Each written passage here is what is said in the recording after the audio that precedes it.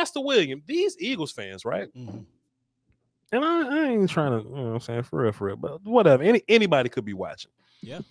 They think that AJ Brown is just gonna come in and just flip the culture. They they think that he's just gonna enact big change. This ain't me saying AJ Brown's a bad player or anything like that.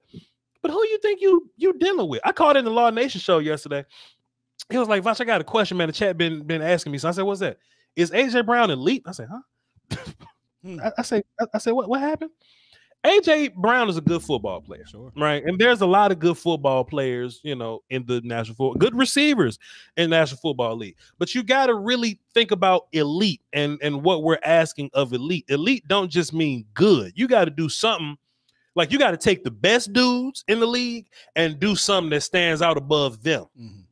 That's what makes you elite. Now, it could be anything. It could be YAC ability. It could be ball skills. It could be speed. Everybody kind of got their thing. It could be route running. You know, Cooper Kupp could, you know, you can argue because he his route running gets, you know what I mean, and it, it'll produce into something Yeah. like that. But, but but you can, you know what I mean? I'm starting to look at AJ Brown. I, I started to watch some film, Will Steele. I, I just wanted to see, you know, just in case I was bugging or something. I don't think AJ Brown is elite, right? And not only is AJ Brown not elite, when did Jalen Hurts turn into a guy? That's the one right there. When, when did Jalen Hurts turn into? Hit, okay, so J- last year Jalen Hurts threw 16 uh through uh 16 touchdowns, 16 passing touchdowns. 16. I didn't misread it. One six. I looked up games played because I thought he got hurt or something. Did, did Jalen Hurts get hurt? Nope. 16 touchdowns and nine interceptions. How many of them shits would have went to AJ Brown? and if AJ Brown was there, how many more do you think would have, you know, uh, he he would have gotten if that was the case? Cowboy fans get so caught up. I'm talking about y'all now, not y'all like you guys, but y'all like them. Cowboy fans get so caught up in everybody else's power, you forget who you are. You forget who you are. When the Cowboys played the Eagles uh in the, in the first game last year, because the second game don't count because we had third stringers in. Voch. All right, cool. You probably should have started them. when the Cowboys played played the Eagles in the first game, Will Steele, Randy Gregory was out. La'el Collins had lied to the P man. Terence Steele was playing. Amari Cooper had three catches. And that shit was 50 something to what, like 10 at the halftime? It's a blowout. They made us change the channel to a Green Bay game. We was whooping their ass so bad. They said, hey man, we just gonna change the channel third quarter, dog. There- there's nothing to see here. on Monday night. On, there's nothing to see here. All of a sudden, the addition of AJ Brown makes you 40 points better in a half. We called the dogs out, Will Steele. We called the dogs off at halftime. If the Cowboys wanted to smoke the shot at the Eagles 70 something to 10, we had a whole nother quarter to get 20 points. We could have done it. But we opted to be classy. But Voch, in that second game, we had our backups in. Our backups was in in the second half of the first game. AJ Brown gonna shift culture culture for you like that. Like I said yesterday, y'all struggle with Ben DiNucci. You Oh, lost to Andy Dalton. You got whooped by Dak twice last year. Holla at me when you actually beat the Cowboys for real, and then we can have a conversation. I get it's a rivalry and everything, mm. right, Voch? But you still got Jalen Hurts. I mean, that's that's why- it. That's the end of the conversation. Let me tell you why it's it's not a rivalry. And I'm only counting the games where Dak was healthy. If you if you if you beat Andy Dalton, that shit don't count.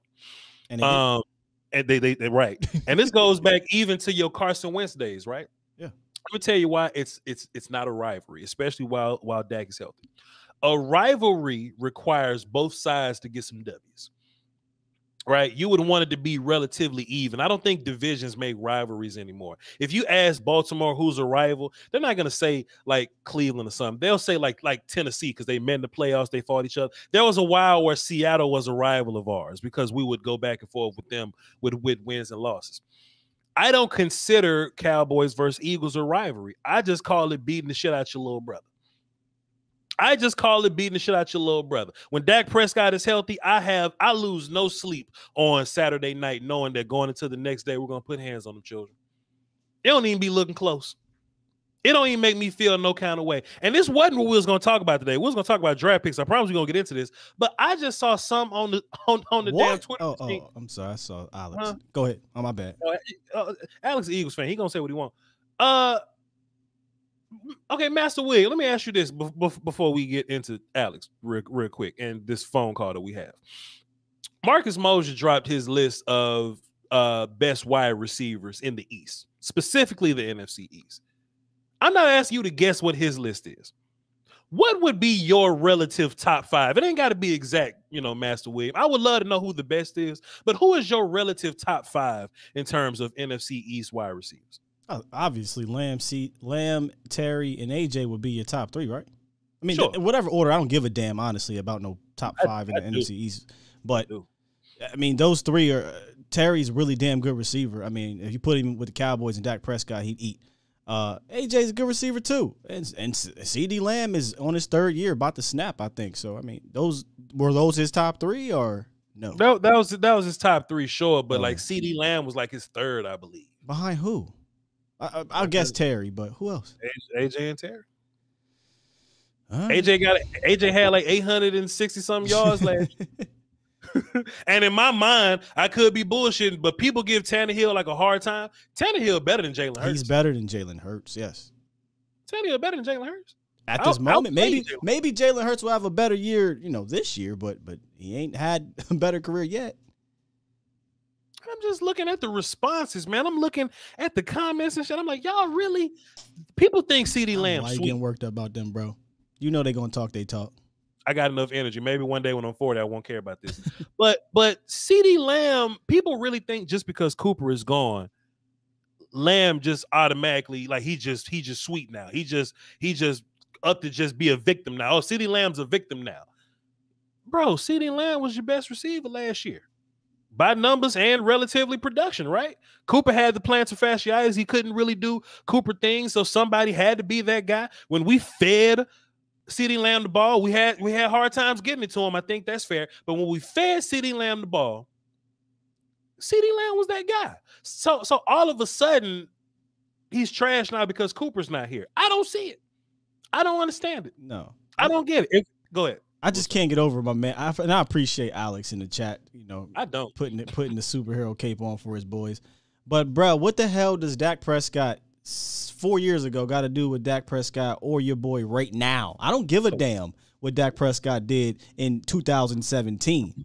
He is far and away better than Jalen Hurts now. Like you saw things even then that he did better than Jalen Hurts in 2017. Jalen Hurts can't read a defense. He can't get through his reads. Dak Prescott was heralded for getting through progressions as a young player. He was a mature passer. Now, obviously, he was young and he still needed to get better, but Jalen Hurts is still struggling reading defenses, my guy. He's a running back. Mm, shit. Oh, whoa, whoa, whoa. Now you know your ass is Willie. I got a question for you, Master William. If you're the Eagles, and I promise we're gonna move on, we got we got calls and we got the topic we're gonna talk about. This is the weird position Jalen Hurts is in. I do agree that there there's room for Jalen Hurts to get better. A lot of room. Much room, plenty of it. How long do you allow him to attempt to get better? I think the Eagles have built this team now to try to win expeditiously. And if you Jalen Hurts with with the pieces that they've provided you, and you don't win expeditiously, I think you either sit or you go elsewhere. I don't think there's a lot of patience in that room for Jalen Hurts because this is the second year in a row, I believe, the second offseason in a row that we look at Jalen Hurts and we go, hey man, the Eagles could draft a quarterback. And we just hear things in draft world. We hear sources, we hear people talking. The front office and the coaches and them, it, it ain't it ain't like everybody not simpatico. There's no consensus. There's some people over there that wish Jalen Hurts wasn't around. How much longer do you wait on that?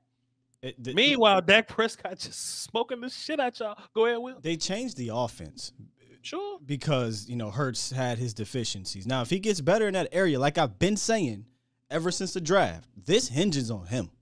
You know, they they went out and got the talent. Haason Reddick, Jordan Davis, AJ Brown. They went out and got the, the bodies. End of the day, though, if your quarterback ain't good enough, you got a problem. Now, I will agree with that, Alex. I do agree with that. He says say? He says he never said Hurts will be better than Dak, and I'm not saying that. Uh, but I don't believe he will at all. I also don't think we need him to be better to win the division. Would you agree there?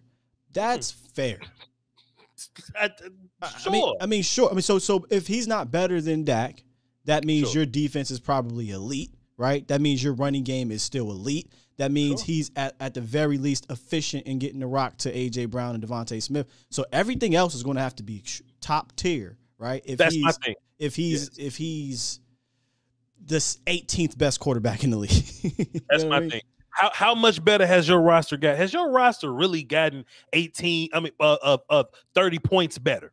You know what I mean? We just talking about how we talking about how bad the Cowboys beat the shit out of the Eagles last year because apparently the first game was the only one that matters, right? Has your roster got 30 points better? And I think the only way you move points that big and that way, the Cowboys got to fall off a cliff. And I don't think that's the case. And the Eagles got to get huge, huge better. I don't think that's the case neither.